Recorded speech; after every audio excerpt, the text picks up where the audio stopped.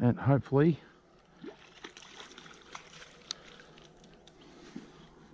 come on get up here. Come up here. There we go. We've got a yellow belly. Not as big as the first one. I missed but there we go. Got a yellow. That is nowhere this is tiny compared to the first one I got. Unbelievable. There we go. Yellow belly.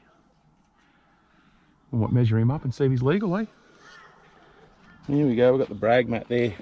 Get that little yellow belly. Hey, buddy, come over here, you. Okay, so he's on there. You've got to be 30 centimetres. There you go. He is 35 and a half. That's a legal yellow belly. Now we're having to feed a yellow belly later on. Might as well keep a couple if we can get some before we get going.